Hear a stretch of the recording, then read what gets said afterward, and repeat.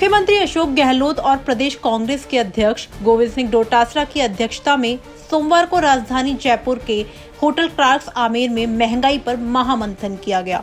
इस दौरान सीएम गहलोत ने महँगाई को लेकर भाजपा को जमकर घेरा। माहौल एकदम राजनीतिक था।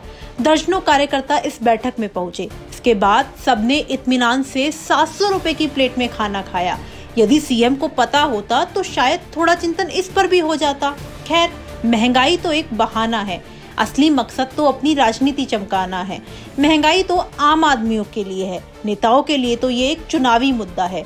दरअसल 4 सितंबर को दिल्ली में कांग्रेस महँगाई पर हल्ला बोल रैली का आयोजन करेगी, जिसमें राजस्थान को पचास हज़ार लोगों की भीड़ जुटाने का लक्ष्य दिया गया है। जिसकी तैयारी को लेकर जयपुर में यह बैठक आयोजित की गई।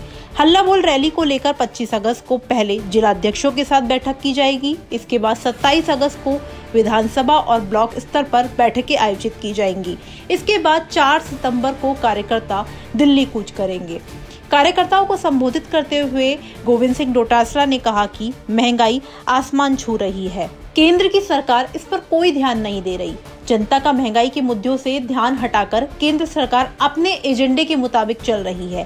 कांग्रेस का आम कार्यकर्ता केंद्र सरकार के खिलाफ गाँव गाँव ढाणी ढाणी जाकर जन जागरण अभियान चलाएगा। देश की सेवा से कोई सरोकार नहीं मैं ज़्यादा नहीं कह के इतना ही कहना चाहता हूँ कि आज की इस बैठक के बाद में हम लोग 25 और 27 तारीख तो बैठकें करेंगे ही करेंगे। इसके अलावा भी गाँव गाँव ढाणी ढाणी में कांग्रेस का कार्यकर्ता, वार्ड में, मोहल्ले में जाकर के इस महँगाई के खिलाफ जनजागरण अभियान चला करके हम पचास हज़ार के लगभग हमने टारगेट रखा है कि हम राजस्थान से उस दिल्ली की चार सितंबर की कांग्रेस की जो महँगाई के खिलाफ हल्ला बोल रही है, उसमें भाग लेंगे और इनको मजबूर करेंगे कि आप महँगाई कम कीजिए।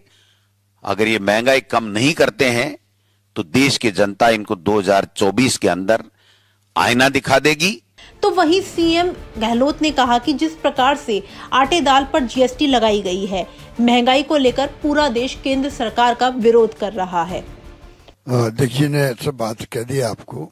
मकसद दाबी की मीटिंग यही था कि महँगाई और बेरोजगारी और जीएसटी जिस प्रकार से लगाई गई है आटे पे दाल पे दही पे महँगाई को लेकर कांग्रेस की यह रैली कितनी सफल होगी, यह तो आने वाली 4 सितंबर ही बताएगी।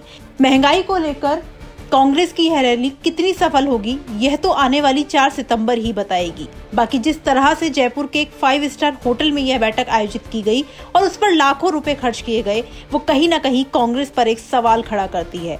ब्यूरो रिपोर्ट, राजस्थान तक।